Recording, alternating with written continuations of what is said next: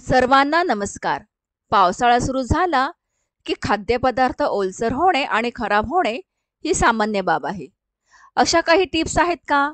ज्याद्वारे आपण या गोष्टींपासून मुक्त होऊ शकतो? माचिसच्या काड्या ओलसर होण्यापासून वाचवणे. माचिसच्या काड्या ओलसर होण्यापासून वाचवण्यासाठी माचीस हवाबंद डब्यात ठेवा. तांदळाला कीड लागणे.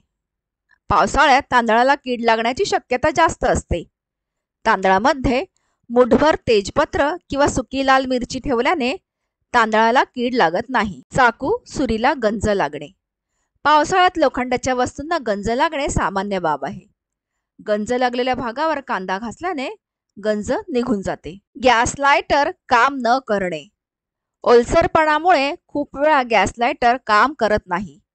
बटन बंद करून गॅसच्या गरम बर्नरवर लायटर ठेवल्याने काम होईल. मोबाईलमध्ये पाणी जाणे. पावसाळ्यात कधी कधी मोबाईलमध्ये पाणी जाण्याची शक्यता असते.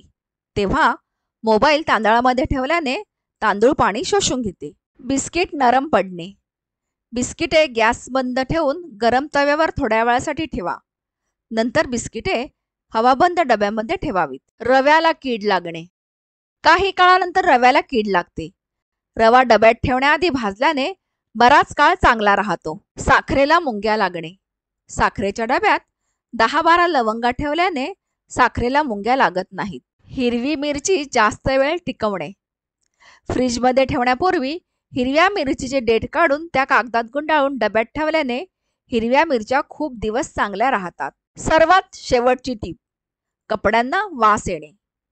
कपडे धुण्याआधी पाण्यात विनेगर टाकल्याने पावसाळ्यात कपड्यांना येणाऱ्या वासापासून सुटका मिळते. आशा आहे तुम्हाला या टिप्सचा फायदा होईल.